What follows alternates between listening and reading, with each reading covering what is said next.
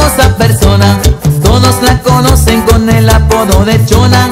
Todos la conocen con el apodo de Chona. Su marido dice ya no sé qué hacer con ella. Diario va a los bailes y se compra una botella.